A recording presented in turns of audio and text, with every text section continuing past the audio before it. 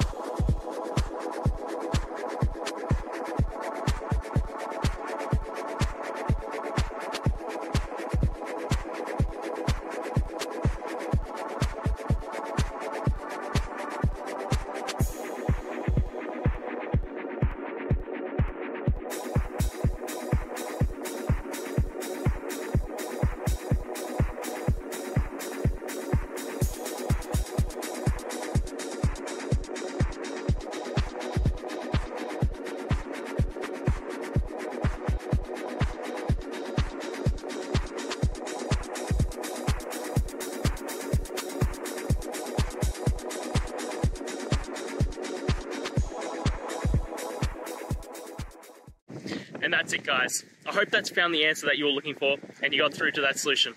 If you did, please hit the subscribe button. I'd really appreciate it. And until the next time you have a technical issue, I'll see you. Have a good one.